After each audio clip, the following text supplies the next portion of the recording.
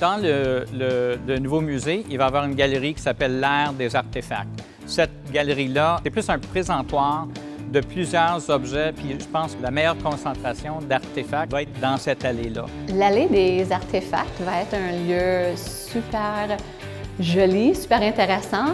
Euh, ça va être des, des vitrines qui comprennent toutes sortes de- d'artefacts, objets de la collection dont peut-être le public n'a jamais eu l'occasion de voir.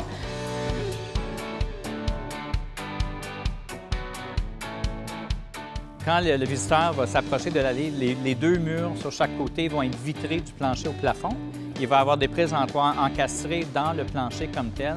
Et notre espérance, notre espoir, c'est que dans ces galeries-là, dans ces présentoirs-là, qu'on puisse avoir une représentation de plusieurs objets, des petits égaux, de la diversité de notre collection au musée.